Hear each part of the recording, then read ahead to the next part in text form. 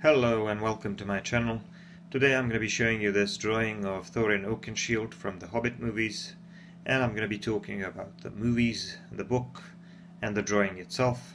I'm going to be showing you how to draw a mountain like this and some other details. So let's have a look.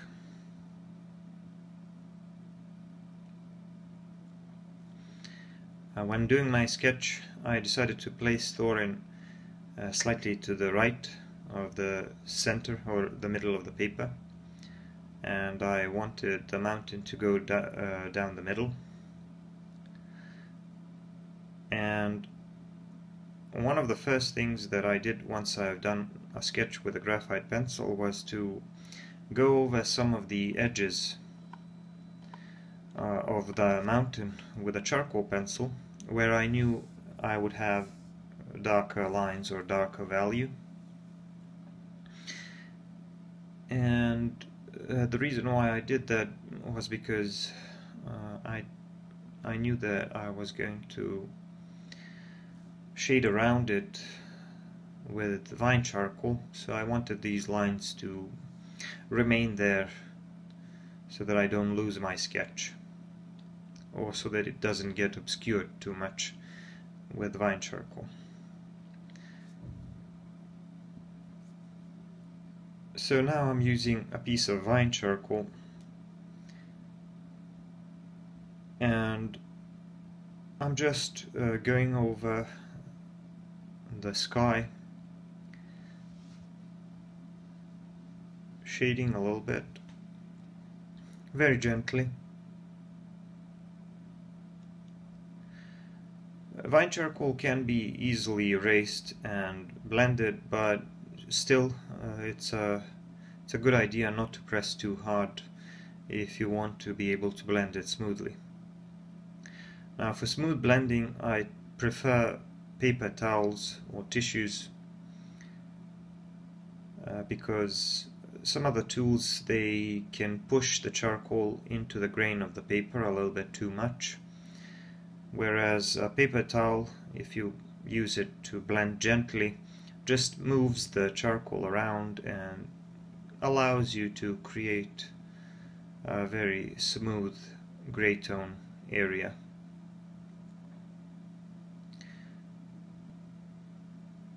This uh, sky that I just shaded is going to uh, be a nice background for my mountain because I want the lighter parts of the mountain to stand out. This of course is the Lonely Mountain because I wanted to place uh, Thorin, uh, the king under the mountain, in front of the mountain. Even though Thorin was the descendant of the king uh, under the mountain, and he himself was a king under the mountain, for a very short time. But as you can see, uh, my light source is coming mostly from above and is slightly uh, slightly more to the right, so the right side of the mountain is getting more light. So the, one of the first things I did was to separate the light side and the shadow side by putting down some more vine charcoal on the left side and to create a shadow side. But now even within that shadow side I need to create some variation. And for that I'm using a woodless charcoal pencil and my tortillons because I want these details on the slopes of the shadow side of the mountain to be even darker But here and there, even in, even in the area that belongs to the shadow side, I will leave out a few lighter areas, maybe like there are some peaks or rocks which are jutting out and getting more light. Here as you can see I'm moving on to Thorin and his hair. And of course again I'm using a woodless charcoal pencil. Well sharpened and I'm using a pencil holder because this one is pretty short from sharpening A pencil holder is a very very useful tool and it allows you to use uh, more of your pencils, whether they are charcoal pencils or any other other type of, of pencils. And uh, as you can see, Thorin's hair is mostly dark, and of course with charcoal it's easy to draw to draw uh, dark hair. So it's ju it's just going to have a few highlights here and there. So after I did the hair, I decided to move on to the light side of the mountain where I created uh, a few more suggestions of rocks and stuff like that. Now as for Thorin's face, I'm going to be using a combination of charcoal pencils and black colored pencils. People often ask me about this combination and why I use it. Well, first of all, uh, wh why don't I use a combination of graphite pencils and charcoal pencils when I'm shading things like that, uh, like his face here. I think that it's because a black colored pencil is darker than a graphite pencil. It's uh, less reflective, so occasionally you can even press a little bit harder.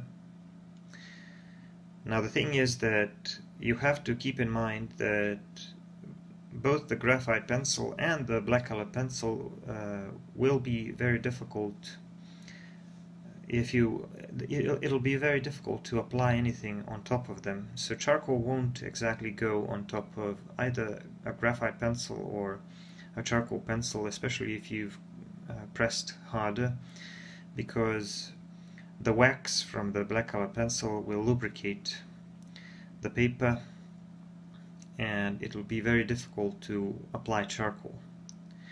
So the key is to make sure that where you know you will combine charcoal with a black color pencil, you first put down some charcoal and then you work on top of that with a black color pencil or with a graphite pencil, whichever it is that you're using. Or if you're sure that somewhere you won't be using charcoal, you just use uh, black color pencil immediately. So you have to know these things in advance. Uh, you kind of have to plan that. But other than that, as long as you keep in mind the properties of the pencils that you're working with, I, th I think that a combination of charcoal pencils and a black color pencil works pretty fine for me. So you can see how I shaded Thorin's face and like I said, the light source is coming uh, mo mostly from above. Here the lighting is a little bit confusing. There's a little bit of reflected light on both sides. But I'm not too worried about that. I mean, it doesn't really matter. I'm mostly worried about likeness, so I wanted my Thorin to look like the actor in the movie, which brings me to the topic of the movies, because I wanted to say a few words about that. I'm a great fan of Tolkien and the books. I think they're some of the be best books ever written. Obviously, Tolkien was a genius. The movies, on the other hand, um, they are not quite as great. I thought that the Lord of the Rings uh, movies were pretty good, that Peter Jackson still had a lot of respect for the material and kind of stuck to the story a little bit more he and the scriptwriters didn't get too creative, although there was some improvisation here and there which I didn't like. But I found that the Lord of the Rings movies weren't bad. They were pretty good, and obviously the visuals and the music and the casting was pretty good. Uh, now, sadly, with The Hobbit they did more of the same and just pushed it even further in terms of uh, in terms of modifying the plot and pretty much pretty much ruined the movies by disregarding uh, a lot of the elements from the Tolkien's story.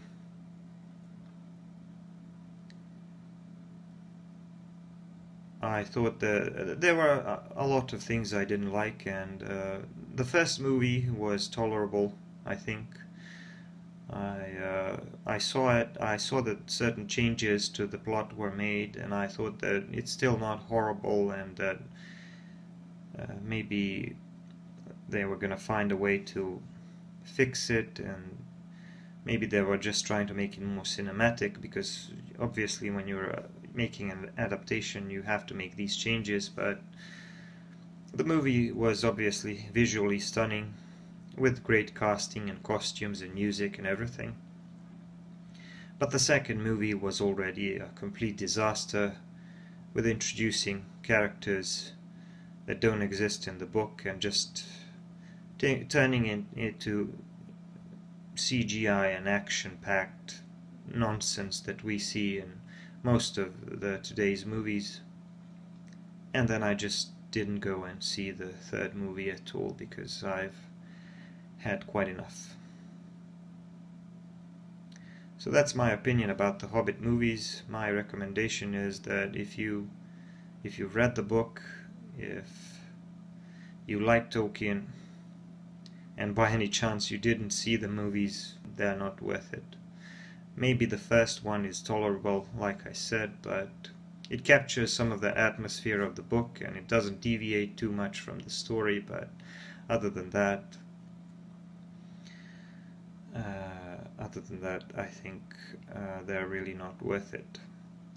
The casting and the costumes were pretty good, solid as usual even though Thorin in the book, the original Thorin was a lot older, probably the oldest member of the company, if I remember correctly.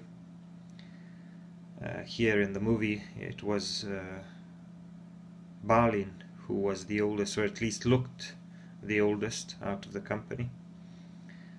And in the book I think Thorin is quite a bit older than Balin. But I guess they wanted a handsome actor uh, for the role of Thorin. Which is okay. I guess you have to make certain changes, but like I said, it was mostly the changes to the plot that I didn't like and the introduction of new characters. Now let me get back to talking about the drawing. As you can see, I've moved on to uh, drawing his uh, clothes and the armor. And uh, in order to make it look like it's made of metal, I need areas of high contrast to make some parts of it look dark and some shiny keeping in mind that my light source is coming from above so uh, I have to make it look like some some of these parts of his armor are, are kind of sticking out and getting getting more light and uh, reflecting more light. As for the fur, I used both the vine charcoal and uh, woodless charcoal pencil for it. Um, and it looks pretty horrible as you can see before you start blending it because first I have to uh, put down all of these strokes to imitate the appearance of the fur.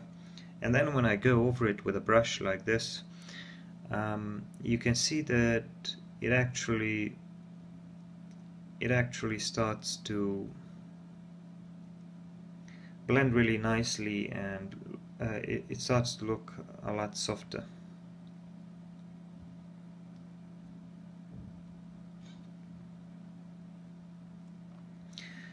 So another thing I had to do was pull some highlights with a pencil eraser to make that fur, to, to improve the texture of that fur and give it some more depth. And now I'm gonna have to do, sorry, the, the armor across his chest and that belt and of course the fur on the right. As you can see I did the lighter slope of the mountain. I used mostly uh, for drawing there because I didn't want too many lines, I didn't want uh, too much dark value.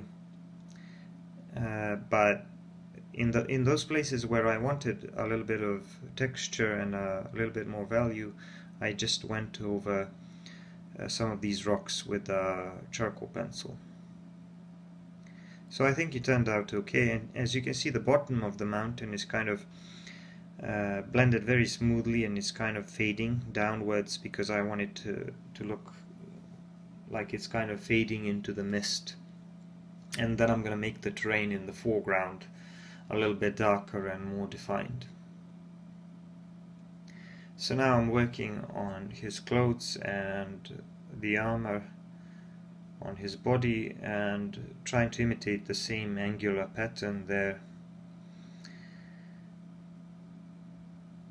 Um, just using mostly my charcoal pencil and also using some erasers to pull some of these highlights so that it looks like it's made of metal. Now obviously I have to do a lot more work on the on this fur here and that needs to be blended nicely and then I have to go over it with some more uh, charcoal pencil work making these uh, tapered strokes trying to imitate the texture and the direction of the hair and uh, then after that I will blend it like I did with the left side and then the final touch of course will be adding some highlights with a pencil eraser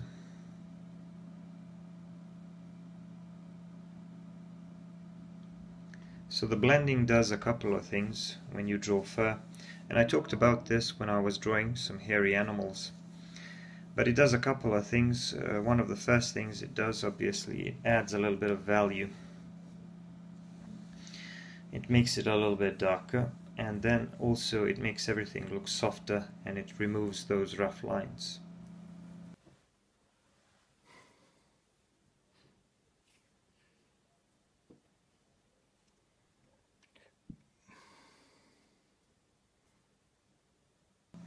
Here as you can see I'm going to try to add some more rough terrain in the well not in the foreground but rather in the midground in front of the in front of the lonely mountain.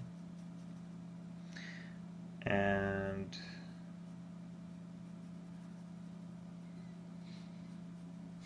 and like I said I, I want the I want it to be darker so that I would have some contrast with the with the lower misty portion of the mountain. I just have to decide decide on what kind of shapes I want.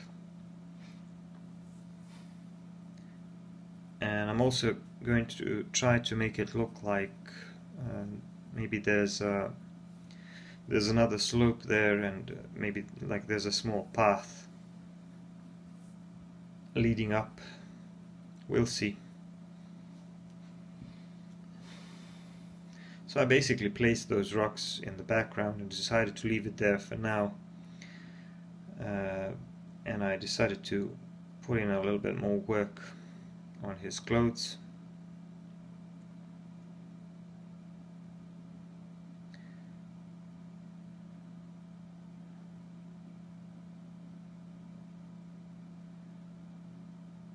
And now I'm moving on to the arms and hands.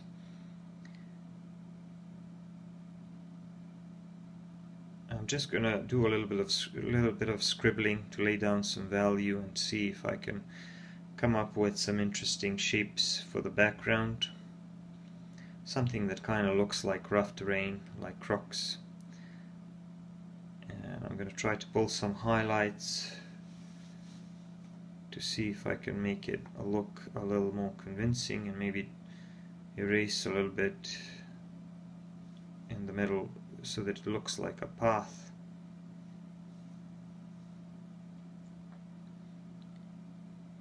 Like a path uh, leading uh, towards us.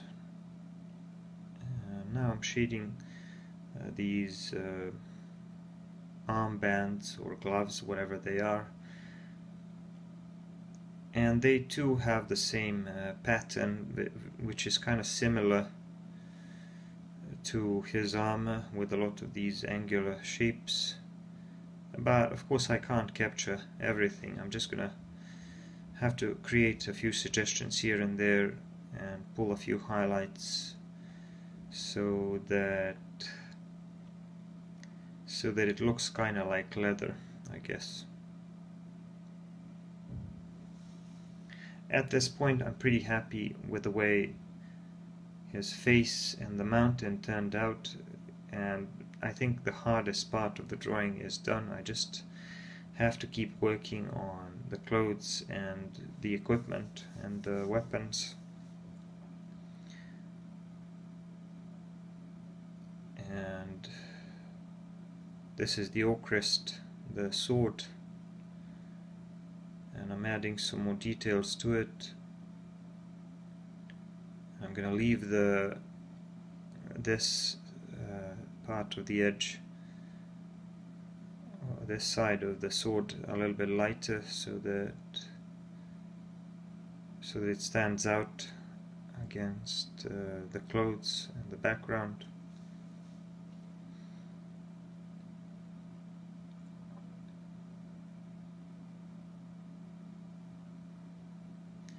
Obviously I can't make out everything in my reference photo, so I'm just uh, simplifying and improvising here and there a little bit. I could go and check what everything looks, but it's not really necessary. I mean, I can just simplify certain details.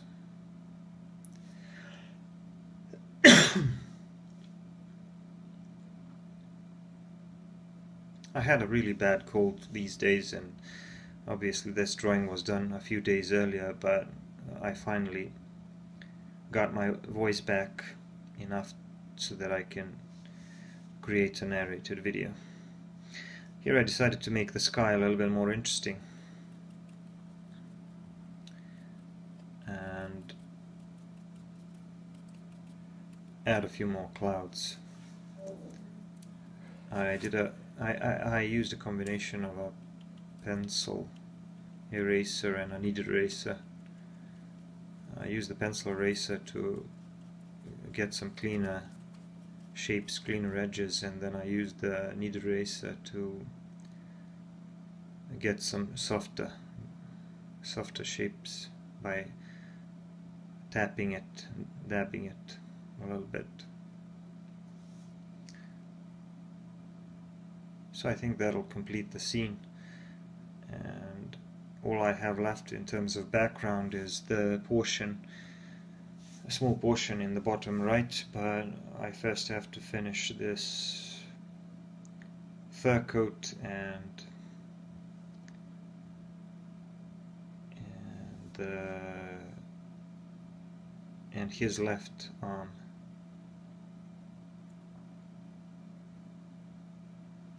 So here again, as you can see, I'm uh, drawing some highlights on that fur coat, trying to give, in, give it more depth.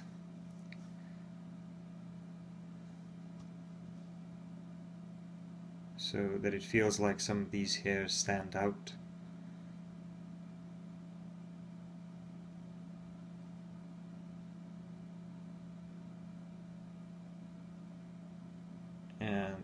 This part here I'm also going to try to uh, create some suggestions of rough terrain in the back.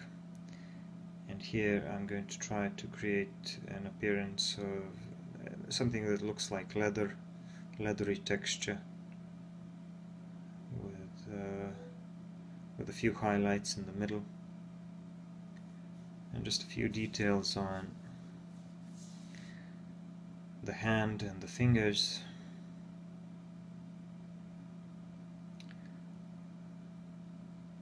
And a few highlights here and there.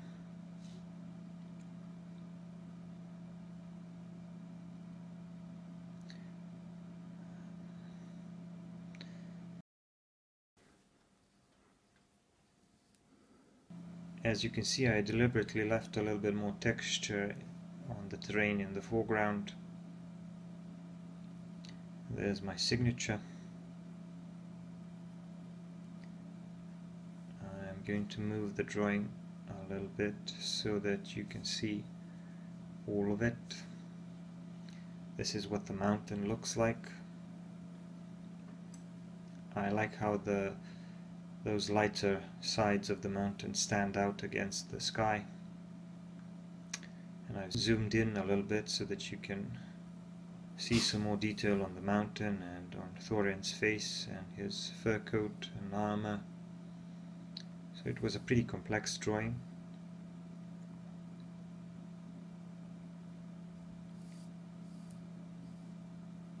There's the sword.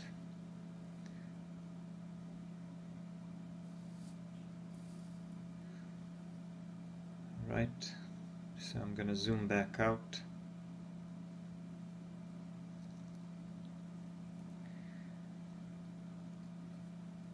I hope you enjoyed this narrated video and make sure you check out my other videos. I have lots of other interesting stuff, both Tolkien related and landscapes and some other stuff, so you should check that out. Thanks for watching.